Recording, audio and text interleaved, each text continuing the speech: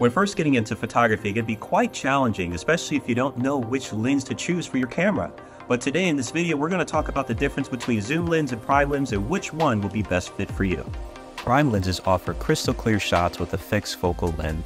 They're perfect for portraits and low light scenarios because they have a wider aperture. They're compact and they deliver that beautiful background blur you may be looking for. Zoom lenses are all about versatility by allowing you to adjust your focal length by zooming in. It's ideal for events or wildlife. These lenses are your all-in-one solution. There's so many options to choose out there, guys, when it comes to the different lens for your camera. If you want to go with a wider aperture, with a nice bokeh look, with a blurred background, let's go with the prime lens. If you want to go with versatility, uh, flexibility, and many other things that goes into one lens, let's go with the zoom lens. Whichever lens that you choose, have fun with it. Go out there and experiment. Happy shooting.